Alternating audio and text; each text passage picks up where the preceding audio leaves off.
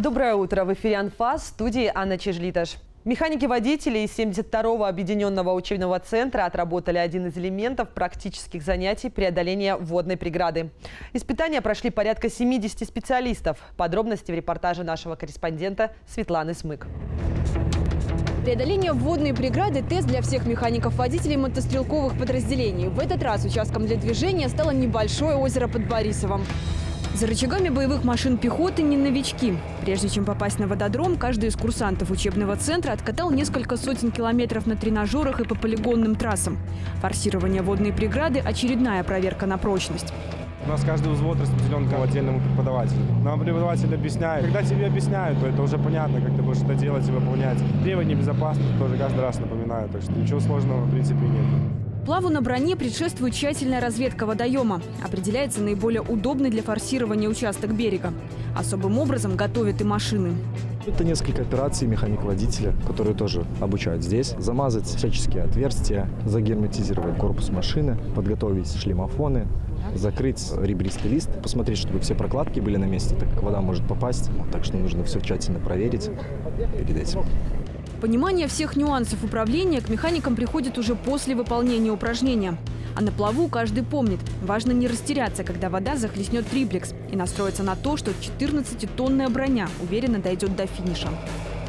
Это больше психологический фактор, э, потому что если на обычном вождении курсант уже уверен, знает машину, как она себя ведет. А здесь уже есть определенная особенность управления машиной на плаву.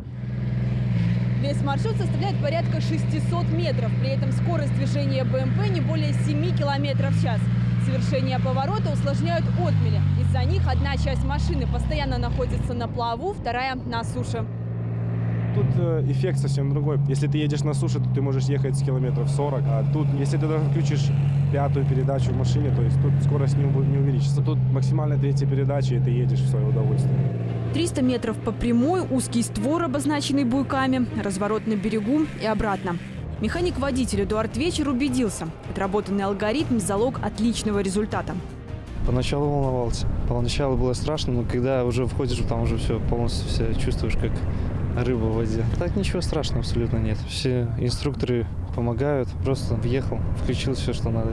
Как только почувствовал, сразу передачу выше и поехал. Но оно все прекрасно чувствуется. Сегодняшнее испытание завершающее в курсе обучения механиков-водителей.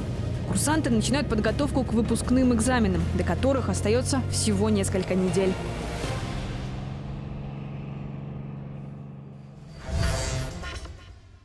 Студии Анна Чижлиташ. Новости столичного гарнизона продолжат программу. Круглый стол по вопросам патриотического воспитания и повышения престижа воинской службы прошел в Центральном доме офицеров в Минске. В форуме приняли участие представители общественных объединений и союзов, военных комиссариатов, центров допризывной подготовки и ДОСАВ. Курсанты первого курса факультета ракетных войск и артиллерии сменили учебные аудитории на классы под открытым небом. Полевой сбор проходит на полигоне под Осиповичами. В программе занятий боевая работа расчетов. На первом курсе они выполняют задачу прямой наводкой. Начало всей артиллерийской науки. И потом уже наращивая знания и навыки, на втором курсе они выполняют задачу из минометов, уже с закрытой огневой позиции. На третьем курсе есть 2С1, на четвертом курсе есть 2,65. То есть сложность выполнения задач увеличивается. На аэродроме под Бобруйском прошел сбор армейских команд по парашютному спорту. За две недели более 100 военнослужащих отработали элементы индивидуальной и групповой акробатики, выполнили программу подготовки на точность приземления. Тренировках приняли участие группы поисково-спасательной и парашютно-десантной служб авиационных воинских частей. Подразделения Гродненской механизированной бригады совместно с военными инженерами отработали приемы преодоления водной преграды. Марш техники прошел по специально наведенному через реку Неман понтонному мосту. Около 150 подвижных мастерских и прицепов, более 200 автомобилей, тысячи наименований различных армейских узлов, деталей и агрегатов. В Министерстве обороны стартует очередной сезон специализированных ярмарок по реализации военного имущества. Ближайшее пройдет в мае.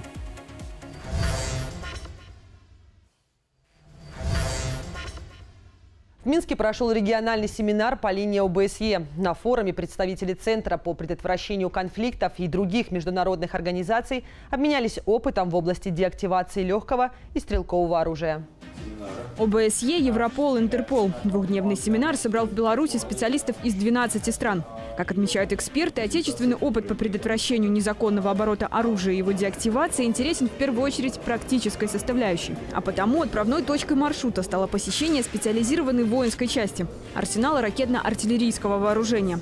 Здесь боевые образцы получают вторую жизнь, но в качестве макетов.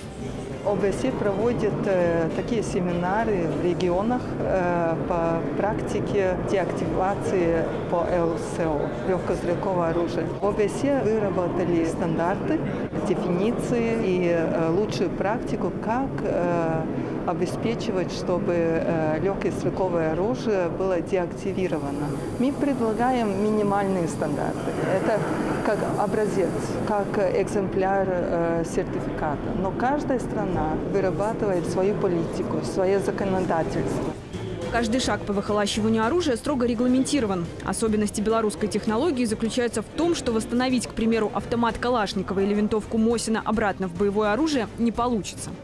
В течение двух дней мы обсуждали возможности активации этого оружия и пришли к общему мнению, что каждая страна имеет свою стратегию по деактивации. И, конечно же, в данный момент увидели, насколько это невозможно обратно активировать оружие, которое было уже утилизировано. Уничтожение утративших актуальность пистолетов и винтовок, карабинов и полуавтоматических образцов позволяет предотвратить риск незаконного оборота оружия. Став безобидными, такие экземпляры находят себе вполне мирное применение. Наследство Республики Беларусь достались очень большие запасы э, от вооруженных сил Советского Союза. Э, естественно, это оружие на сегодняшний день не является востребованным.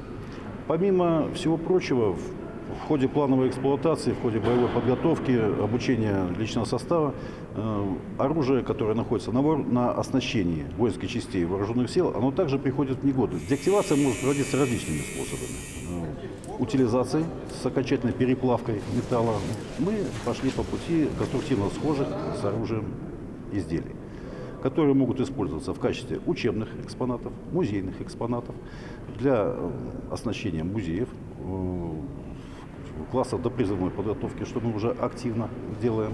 Деактивация оружия далеко не первый проект Беларуси по линии ОБСЕ. Два года назад при поддержке международных организаций были уничтожены последние противопехотные мины ПФМ-1. Еще одним важным шагом по разоружению стал вывоз некондиционного ракетного топлива. Это очень впечатлительно. Мы э, благодарны в Беларуси за хорошее сотрудничество с ОБСЕ. У нас много проектов с Беларуси, открыты, э, дружелюбивные. Мы очень рады сюда приехать всегда. Каждый год в армейских арсеналах утилизируются тысячи единиц легкого стрелкового оружия. Белорусский подход в этой сфере – значимый опыт для иностранных коллег. Уже сегодня некоторые принципы отечественных способов по деактивации вооружения внедрены в Таджикистане и Молдове. На очереди еще несколько стран. Справедливо сказано, война не окончена, пока не похоронен последний погибший солдат. А тех, кто выполняет святую миссию, осуществляет поиски перезахоронения останков воинов, нам рассказал начальник управления по увековечению памяти защитников Отечества и жертв войн Сергей Воронович. Сергей Николаевич, здравствуйте. Добрый день. Э, специалисты 52-го батальона недавно открыли э, поисковый период 2019 года. Где будут проводиться работы, каковы их э, масштабы и особенности? Да, действительно, личный состав 52-го батальона приступил к проведению полевых поисковых работ согласно плана, который я утвердил с 15 апреля нынешнего года. Мы включили 96 объектов. Будут проведены работы в 47 районах по всем областям Республики Беларусь. план включили мы как одиночные захоронения, так и групповые.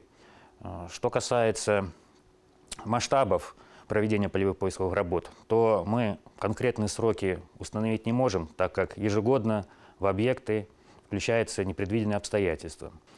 Ну, для примера берем 2018 год. Июнь месяц, город Несвеж. При подготовке участка местности для жилого строительства было обнаружено э, костные останки и сопутствующие находки, указывающие на период Великой Отечественной войны. Вначале была отправлена небольшая группа личного состава 52-го батальона, но в скором времени мы убедились, что это массовое захоронение. В план приходится включать корректировки. Личный состав работал три месяца. По итогам было изгумировано 23 красноармейца рабоче-крестьянской Красной Армии и 1044 жертв, расстрелянных фашистами. Насколько мне известно, поисковики активно сотрудничают с коллегами из других стран. Насколько полезна эта работа, приводит ли она к каким-либо осязаемым, конкретным результатам? Если брать 2018 год, то мы отработали с тремя общественными объединениями Российской Федерации.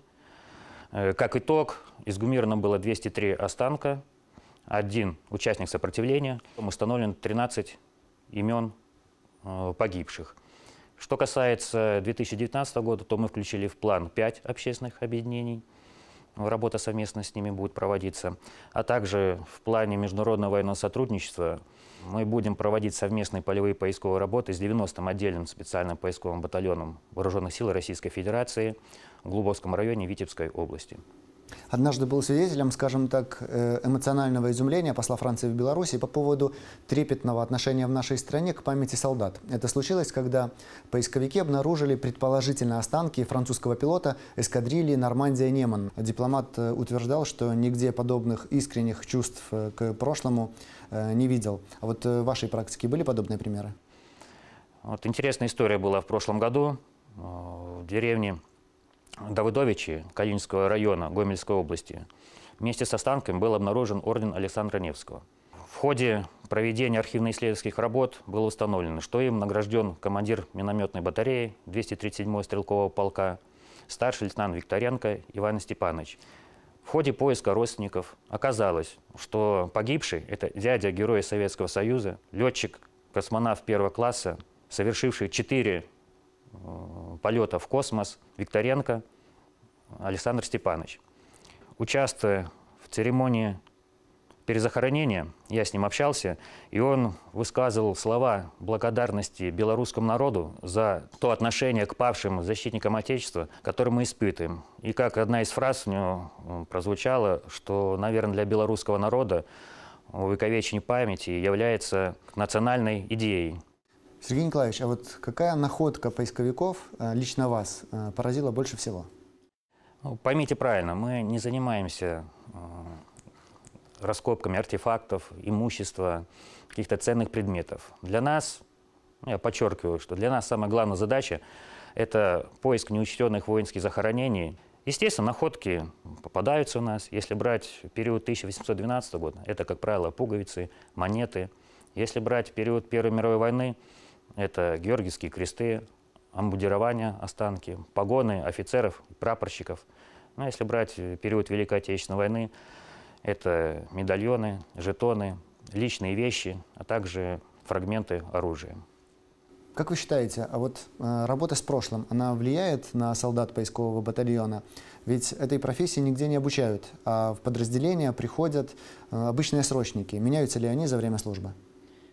На мой взгляд, молодые ребята, которые проходят службу вооруженной силы, будто это в 52-м батальоне, либо это в отдельном э, воинском формировании в другом, у них вообще уже отменяется отношение как к самому к себе, как к родственникам, как вообще к практике жизни. Воины 52-го батальона, они выполняют государственную задачу, и это они знают, потому что прикоснуться руками к той истории, это много стоит. Более того, когда проходят полевые поисковые работы, они же сталкиваются с останками, но перед этим они изучают историю места, на котором проводятся полевые поисковые работы. Будто это массовое уничтожение, или это были какие-то боевые действия. И они понимают, что мы живем в прекрасной стране, стране, которая не воюет. И данную информацию они, как правило, доводят до подрастающего поколения. Для них самое важное – преподнести ту точку зрения, что необходимо помнить о подвигах своих отцов, о подвигах своих дедов, для того, чтобы не повториться и не повторилось те события, которые пережил белорусский народ. Спасибо за беседу. А я напомню, у нас в студии был начальник управления по увековечению памяти защитников Отечества и жертв войн, полковник Воронович Сергей Николаевич. Следите за актуальными армейскими новостями на сайте vntv.mil.by и подписывайтесь на наш канал в YouTube. На сегодня это все. Вы смотрели «Анфа». С вами была Анна Чижлиташ. Мирного неба вам и до встречи на канале СТВ.